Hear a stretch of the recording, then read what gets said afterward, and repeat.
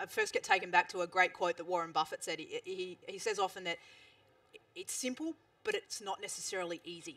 And I think that's a really important thing because sometimes we get lost in this hunt for the new silver bullet or the, the magical new management phrase or something like that, when in reality, you know, the organizations that achieve over the long term are the ones that do the fundamentals well consistently. And when it comes to trust, it's about, well, say what you mean and do what you say. Um, and funnily enough, as simple as that sounds, increasingly we've seen that be a challenge in terms of what it is we talk about or the values we say or how it is, even take employee engagement surveys. You know, I watch eyes roll when I mention those things because you go, yeah, yeah, we've all filled those out and we know no one reads them.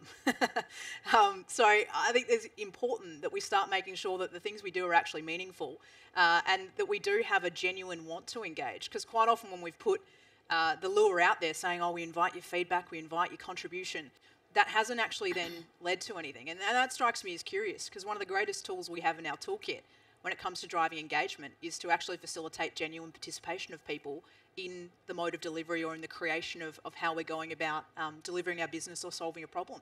And yet we're not seeing too much of that in play in how we're structuring, be it workplace design or ways of engaging our community.